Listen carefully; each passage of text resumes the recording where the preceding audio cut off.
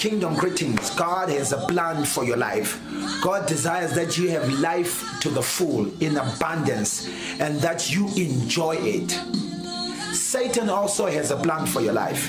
His plan is to steal, to kill, and to destroy.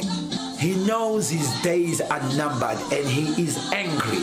So he walks around like a roaring lion seeking whom he may devour.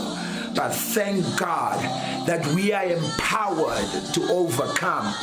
He that is born of God overcomes the world. So we don't only have hope, but we have victory in Christ Jesus. The Bible says He's able to do exceedingly abundantly, far more than all we could ever think or imagine, according to His power that is at work in us. We are world overcomers.